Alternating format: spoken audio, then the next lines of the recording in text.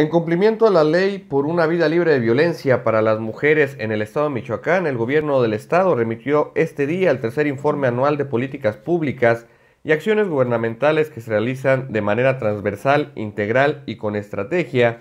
en contra de la violencia a las mujeres por razones de género. En el gobierno de Michoacán tenemos visualizado el problema, pero sobre todo un programa, estrategia y trabajo conjunto de darle atención y combatirlo de manera integral, destacó el secretario de Gobierno, quien además en dicho evento detalló. La violencia en contra de las mujeres pueda ser erradicada. Hoy lo importante es que tenemos visualizado el problema, tenemos un programa de trabajo, tenemos un sistema que está atendiéndolo y que eh, con el trabajo del Congreso, del gobierno de la República, del gobierno del Estado y de los gobiernos municipales, pero además decirles que en esto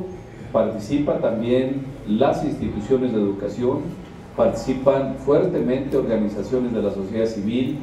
porque son acciones eh, donde todos tenemos algo que hacer. Y cuando digo todos, de verdad es todos. Desde la familia, en las escuelas, en tu centro laboral, en el trabajo, en la calle, en,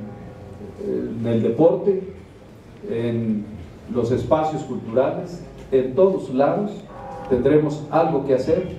para evitar alguna manifestación de violencia en contra de nuestras mujeres.